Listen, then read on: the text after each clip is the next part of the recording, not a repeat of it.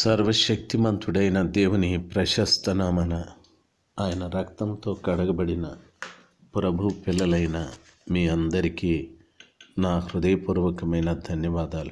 ప్రియులారా మీరు ప్రతిరోజు వాక్యం వింటున్నారు.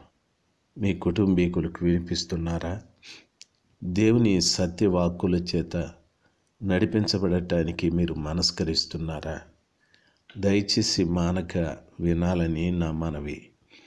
ఎన్నో ఆత్మీయమైన సత్యముల చేత మనం హెచ్చరించబడి సరిచేయబడి దేవుని రాజ్యంలో ప్రవేశించటానికి ప్రభు కృపదయ చేస్తాడు ఆయన అనంతమైన ప్రేమ కనికరము మీ మీద నిలిచి ఉండునుగాక.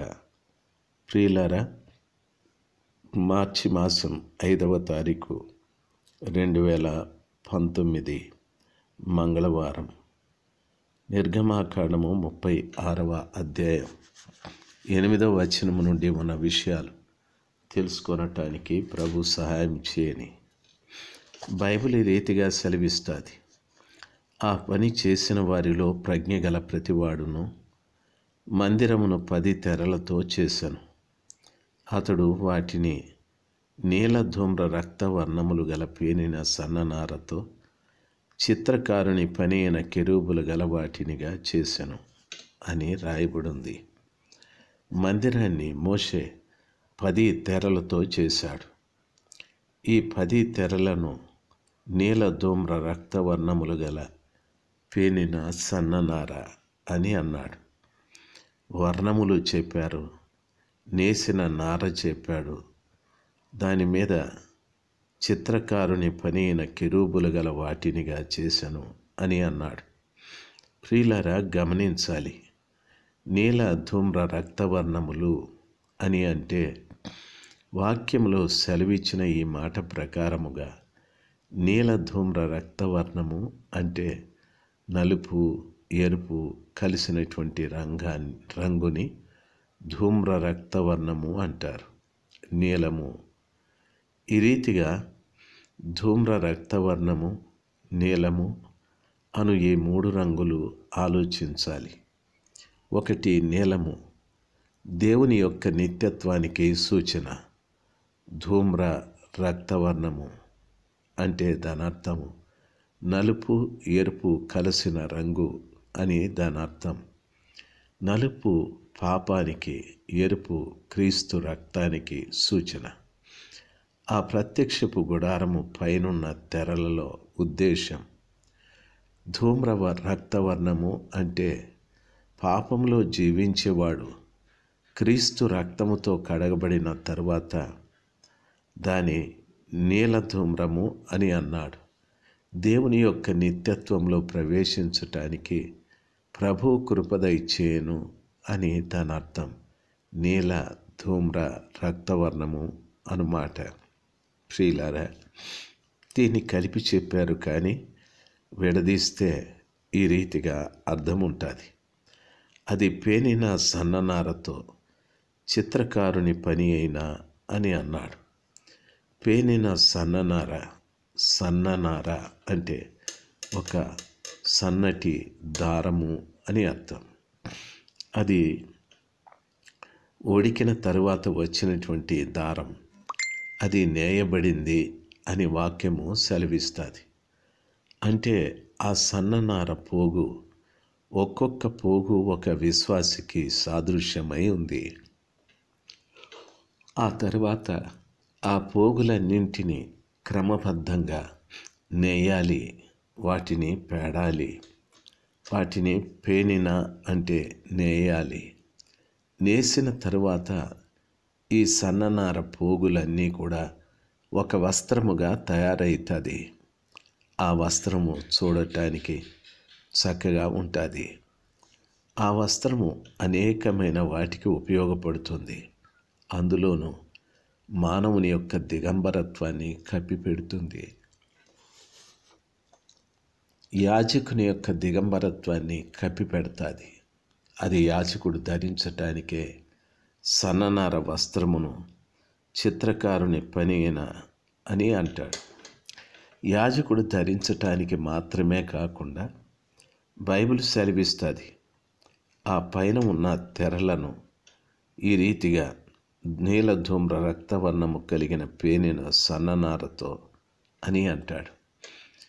ఆ ప్రత్యక్ష గుడారము పైన కప్పబడేటటువంటి ఆ తెర సన్ననారతో చేయాలి. అది వాక్యంలో సెలవిచ్చిన రీతిగా ప్రతి పోగు ప్రతి పోగు కలిపి వస్త్రముగా నేయాలి. ఆ రీతిగా నేసిన తరువాత దాని మీద చర్మకారుని పైన కెరూబులు గలవానిగా చేసెను అని వాక్యం సెలవిస్తారు. అంటే దాని అర్థము ఆ తెరల మీద కిరూబులు కనిపిస్తూ వచ్చాయి. ఆ రీతిగా చిత్రకారుని పనిగా కెరూపులను దాంట్లో అల్లిక చేస్తూ వచ్చాడు. కెరూపు అంటే దాని అర్థం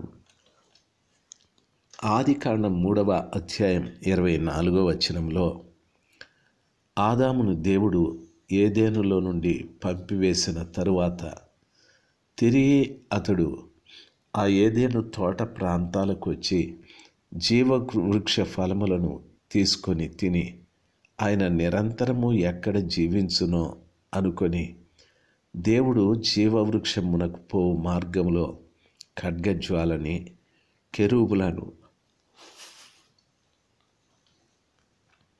కావలి ఉంచాడు అంటే దాని అర్థం కెరుపు కావలివాడు అని అర్థం. దేనికి కావలివాడు అంటే ఆదాము లాంటివాడు లోపటున్న ఆ తోట లోపటున్న జీవవృక్ష ఫలములను ఎక్కడ తినివేయునోనని కాపు కాస్తూ ఉన్నాడు. అంటే దాని అర్థం పది తెరల లోపలున్న సర్వశక్తిమంతుడైన దేవుణ్ణి. ప్రియులారా ఆదాము వలె పాపం చేసి శాపగ్రస్తుడిగా బయటికి వెళ్ళిన ఆ వ్యక్తి పశ్చాత్తాపపడకుండా పాపం విషయమై దేవుని దగ్గర కన్నీరు కార్చకుండా మందిరం లోపటున్నటువంటి ఆ జీవవృక్ష ఫలమును అంటే జీవవృక్ష ఫలము అది భుజిస్తే నిరంతరము జీవిస్తారు మరణం లేదు. యేసు ప్రభుల వారు కూడా అన్నారు ఏమని? నా యందు విశ్వాసముంచువాడు నిత్య జీవం కలవాడు వాడు చనిపోయిన మరలా బ్రతుకును అన్నాడు. దాని అర్థం దాని అర్థం క్రీస్తు ప్రభుల వారి మీద విశ్వాసం ఉంచితే మనం నిరంతరము జీవిస్తామని మరణం లేదని. అదేవిధంగా కృపగలిగినటువంటి ఆ దేవుని అందు విశ్వాసం ఉంచే ప్రతివాడు నిరంతరము జీవిస్తాడు కదా. ఇప్పుడు ఈ కెరువు తెరల మీద చిత్రకారుని పనిగా చిత్రించబడ్డది అంటే దాని అర్థం మందిరం లోపటున్న మహిమగల దేవుణ్ణి ఒక వ్యక్తి కలిగి ఉండాలి అంటే ఆదాములాగా శాపముతోనూ పాపముతోనూ నిండుకొన్నవాడు ధైర్యంగా ఆ మందిరం లోపలికి ప్రవేశించకుండా కాపలివాడుగా ఈ కిరూబులు పనిచేస్తూ ఉన్నాయి అని గ్రహించాలి. దైవ జనాగమ? అది చిత్రకారుని పనియే అయినా నేతగాని చాకచక్యమైన ఆత్మీయమైన అర్థం అది. మనం మందిరంలోనికి వెళ్ళినప్పుడు ఈ కెరుబు ఉండాలి. మన పాపం మన శాపం అంతా బయటనే పశ్చాత్తాప పడితేనే వాటిని విడిచిపెడితేనే లోపలికి ప్రవేశం ఉంటుంది. లేకపోతే కెరుబు అడ్డుగా నిలబడుతుంది. ప్రియులరా సంఖ్యాకాండం ఏడవ అధ్యాయం తొంభై వచనంలో చదువుకున్నట్లయితే కెరూబును గురించి ఇంకా ఒక మాట ఈ స్థలంలో చెప్పబడింది. మోషే యహోవాతో మాట్లాడుటకు ప్రత్యక్షపు గుడారంలోనికి వెళ్ళినప్పుడు సాక్ష్యపు మందసము మీదనున్న కరుణాపీఠం మీద నుండి అనగా రెండు కెరూపుల నడుమ నుండి తనతో మాట్లాడిన యహోవా స్వరము అతడు వినెను అతడు ఆయనతో మాట్లాడెను. ఈ కెరూబులు ఎక్కడున్నాయి అంటే ఈ ప్రత్యక్షపు గుడారంలో అతి పరిశుద్ధ స్థలంలో మందస్సుపు పెట్టే. ఆ మందస్సం లోపట నిబంధనల పలక చిగురించు అహరోను కర్ర. బంగారు మన్నా పాత్ర ఈ మూడు ఉంటాయి. దాని పేద కరుణాపీఠం ఉంటుంది. కరుణాపీఠమునకు ఏకాండమై రెండు కిరూపులు ఒకదానికొక్కటి ఎదురుగా తమ రెక్కల్ని చాపి ఆ మందసం పెట్టెని కప్పి ఉంటాయి.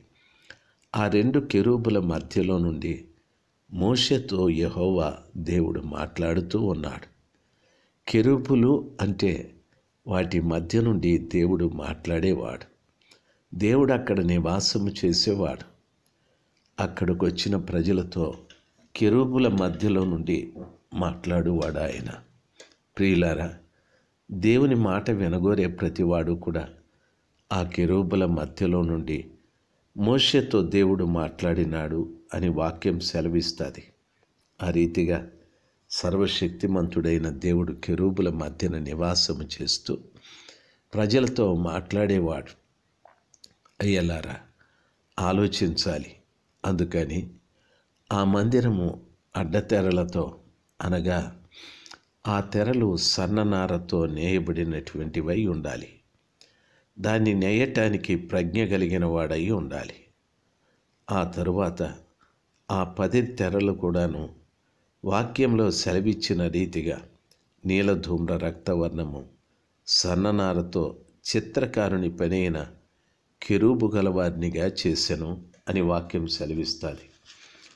ఇంకా వాక్యంలో చదువుకున్నట్లయితే కిరూబును గూర్చి మొదటి సమయలు గ్రంథం నాలుగవ అధ్యాయం నాలుగవ వచనం. ఈ రీతిగా చెప్పబడి ఉంది.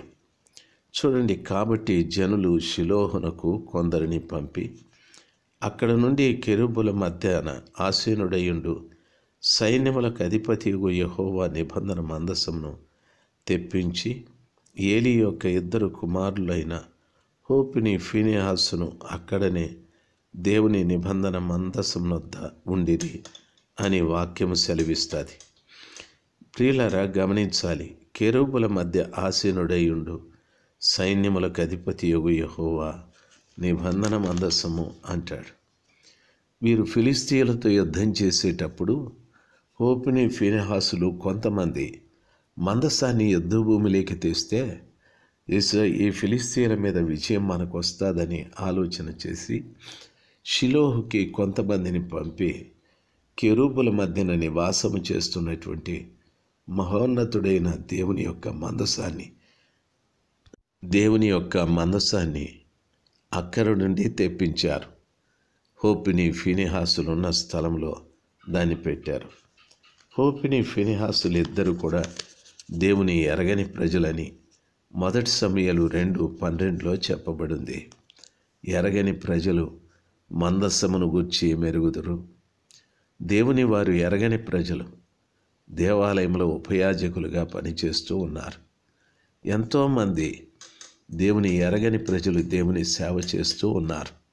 ప్రియులారా ఆ దేవుని సేవ ఆయన ఎరగని ప్రజలు ఆయన సేవ చేస్తూ ఆఖరికి కెరూపుల మధ్యన నివాసము చేస్తున్న ఆ దేవుణ్ణి ఎక్కడ పెట్టారో తెలుసా?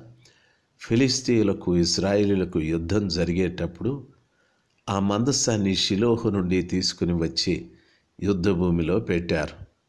మిగిలింది రేపు చెప్తాను. దేవుడు మిమ్మల్ని దీవించుగాక. ఆమెన్.